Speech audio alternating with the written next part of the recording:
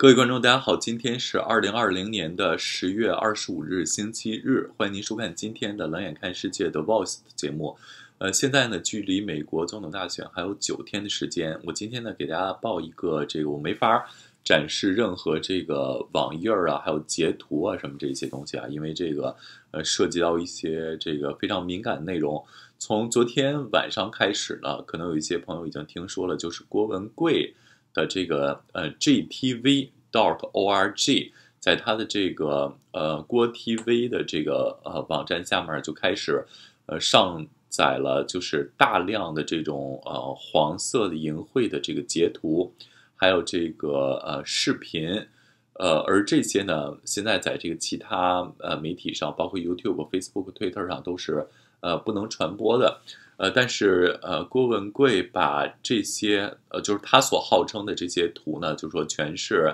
呃拜登的儿子亨特拜登的一些这个淫乱的图呢，还有视频放到他这个网站上。呃，我只是给大家说一个消息啊，因为呃，据郭文贵所说呢，这些图里面还有视频里面也包括一些这个亨特拜登跟呃未成年呃小女孩这种。呃，就是呃，色情的视频，就是完全是这种，这这个完完完全是这种，呃，纯色情的视频。如果你感兴趣的话，你可以去看一下，但是我没有办法跟你做任何的推荐或者说是评价。呃，这件事情出来之后呢，过去也已经快呃差不多十二个小时了吧，但是没有任何媒体报，甚至福克斯啊，还有一些这个右派媒体呢。都没有任何人报这个郭文贵放出来的这个视频，还有这个图片的信息，因为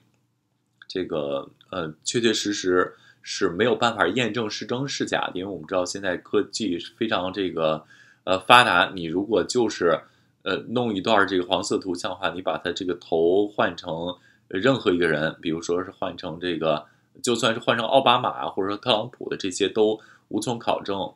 所以这个就是完全是。呃，未经证实的小道消息吧，但是这个郭文贵呢，起码在 GTV 上面，他全都这是给呃剖出来了。呃，值得一提的是，如果观众朋友们想看呢，你看的时候呢，就是一定要小心，特别如果你是在美国呀，或者说是其他一些西方国家，你如果看这个呃，就是未成年人的这种呃色情视频的话，其实是犯法的，就是说。呃，其实是就是触犯了法律，所以呢，我是没敢看。但是他那上面有一些这个呃截图什么的，呃，也有一些视频，就是大家如果看的话，你在国内看那肯定没什么问题，这没没人管你。但是如果你是在这些呃西方国家，它本身就是不让放任何这种呃未成年人的这种淫秽视频的话，你如果。不单是这个呃上传，你就算是只是观看的话，呃，有可能也是涉嫌违法，所以大家一定要小心。我只是把这个告诉大家。呃，所以我个人觉得呢，他有这么多的这种所谓的是拜登儿子亨特拜登的这种呃不雅照啊、视频呢，说是从他这个笔记本里流出来的。但是我们知道，这个主流媒体报的呢，都是。呃，特朗普的私人律师朱利安尼，还有这个特朗普的前军师班农，他们有这个呃电脑上的这些东西。但是现在呢，这两个人没有跳出来把这些色情的视频呢、图片呢，呃传到网上，反而让郭文贵来干。所以我个人感觉呢，郭文贵这回呢就是一场豪赌，对他将来的这个呃前途呢，甚至这个呃人身自由呢，都有很大的这个风险。这显然呢，他怎么能得到这个？就是从这个班农那儿得的。这个班农我不知道是拿的一第一手的，还是从朱利安那那儿拿的。但起码这两个人是一条船上的。而这个我们知道，呃，班农和郭文贵呢，也是这真真实实的是一条船的，因为就是在一条船上待了好长时间，然后也是在那郭文贵的这个船上被呃 FBI 的人给带走的。这班农，所以现在基本上就是呃。爆这个黑料啊，已经不是特朗普和特朗普就是周围那圈的人干了，而是完全借这个郭文贵之手干了。还有那个路德，这个就是把郭文贵和路德推上了这个呃美国政治斗争的最前线，因为毕竟昨晚昨晚晚上你发的时候，距离美国总统大选投票就十天的时间，在这样一个敏感的时刻呢，这个美国的国家机构都非常非常谨慎，不敢这么如此这个肆意的干涉呃美国大选，然后不敢就是做出这么强的这种表态，但是把这个。郭文贵和路德推到前面当了这个白手套也好，或者说什么其他什么手套也好，完全就是让他们，嗯，等于到了美国政治斗争的一线。这一次如果是特朗普连任了还好，就说郭文贵不会受什么冲击。但是如果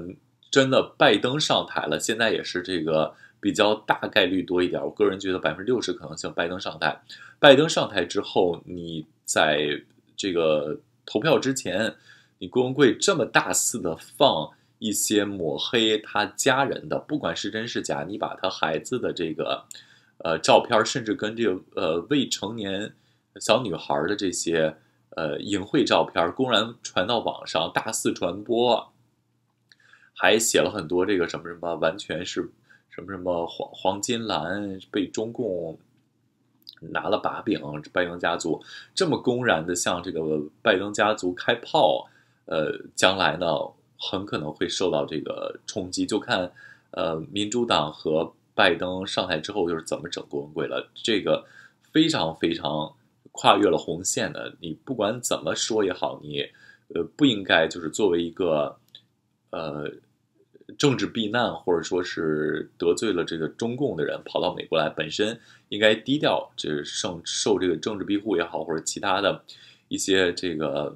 原因也好，呃，你这么高调的介入，而且是在最前线，比这个美国的 FBI 司法部，呃，班农还有这个朱利安尼还要冲到前线来发这些美国的主流媒体都无法验证，都无从验证，也不敢去报的这些。呃，黄色食品这个是非常非常危险的。我个人呢非常担心这个郭文贵。我不知道这郭文贵据说是跟这个大纪元还有法轮功不是一派的，而是另外一派，什么什么，呃，中共建国什么民主联盟什么之类，我也不是很清楚。反正这个呃海海外这个反共圈很复杂了。你这么做的话，我觉得很危险，基本上等于是给自己就是上了这个断头台。呃，如果拜登上台，这郭文贵呢，这个不会有好结果，有可能坐牢，也有可能就直接遣返回这个中国。本来拜登和这个中国的关系就是传统上的美国建制派，不管民主党还是共和党，跟这个中国关系，这些政府的内部很多都是可以妥协的，可以谈的。呃，但是你这一下子把这个拜登的这个家人。这些不知是真是假的这个丑闻，还有这些淫秽照片、淫秽录像，你自己未加验证的，直接冲到最前面发出来，在网上广泛传播，这个很很危险。我觉得是他个人就是一场豪赌，完全他没有必要介入其中的，完全是冲到了这个最前线，被人当枪使，也有可能就是自己主动当枪使。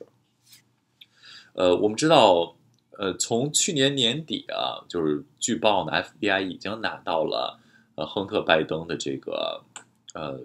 修电脑的这个硬盘，调查这么长时间，都十个月了，这个 FBI 一直都没有这个呃给出任何结论的，就是都没有说有什么什么进展。这个显然就是不想在这个最后美国大选之前，就跟上一次一样，FBI 不想这个高调介入。上一次呢，等于是对。这个希拉里非常不利。你大选前十天，你开了重启对希拉里邮件门调查，呃，结果某种程度上呢是让这个希拉里输了。这肯定不是主要原因，但也是一个这火上加油浇油。所以这一次，呃，特朗普就算是他任命的这个 FBI 的局长，还有他这个司法部部长，他让这俩人使劲就公开调查拜登这个涉嫌。腐败，他儿子的涉嫌这个跟其他国家这个腐败的传闻呢，FBI 和司法部都不动，都不表态，就是在拖时间，在等。因为人家这些人现在是给这个特朗普，呃，你说的好听点儿是服务，说难听点儿当狗，但是他不能当一辈子狗，他将来也得考虑他的这个退路啊。如果这个特朗普选举被选下去，那这些人他们也要自保，对吧？你哪怕是特朗普这个下去之后，你如果还在台上，你该查怎么样的，你一点点查，或者说根据这个选举形势，你决定继续查，还是说就是直接结案，就是呃证证据不明就不查了。嗯，人家都是为自己有一个这个自保的，但是这郭文贵呢，他没想那么多，他就直接把这些视频传上来了，所以。呃，非常非常危险。这个郭文贵和路德现在是冲在第一线，呃，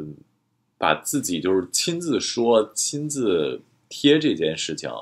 呃，非常非常呃危险。我不知道，不知道最终会怎么样吧？我们一起来看一下。反正今天就给大家说一下这事儿。你如果愿意看的话，你看就小心一点儿，就不要做什么涉及违法的事情，好吧？呃，好的，今天就给大家说这么多，非常。感谢您这个观看，如果喜欢的话，欢迎您支持订阅频道。我们下个视频再见。